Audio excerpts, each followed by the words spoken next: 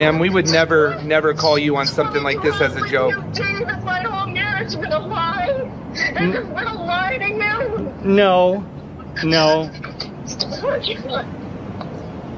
All right, that's almost like a police shooting.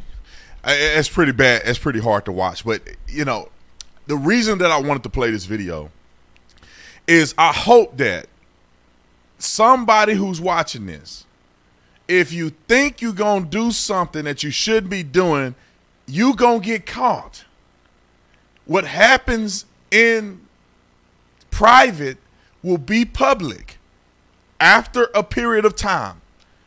God will expose you if you're doing something you know you ain't supposed to be doing. Especially if you think about doing this, what he did. You can't live a double life.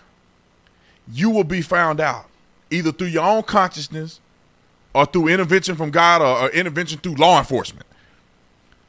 But it's horrible to put other people through it. I, I, I, I feel bad for both people, mind you, because you got to be messed up you got to be seeing ghosts and and and hallucinating and the spirit of the antichrist must be upon you for you to think about going to another state to meet with a 14 year old kid i don't understand how people do this i don't understand how you can live a double life just tell your wife becky i, I, I don't want this no more Y'all kids are probably you've been married for 35 years. Your kids grown. They gotta be grown. They get their own life. Becky, I can't do this no more. I'm I'm sick. Or if you want to be with another man, be with a man. They got little men out here.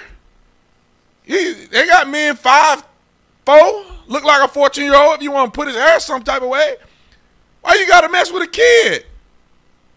It's the same thing with dudes with the with the little girl. It's like hey man, I, I ain't trying to be funny or nothing, but like, this probably gonna sound real bad, but I'm just keeping it real. Like, there's men, you know what I'm saying? If you just so happen to have some thing about somebody small, why you why you want to go with a little girl? You gonna go to prison, and Big Johnny gonna work you in prison, bruh. It ain't gonna be no mercy. Why would you even take that chance? There's so many options. There's grown women at gymnastics.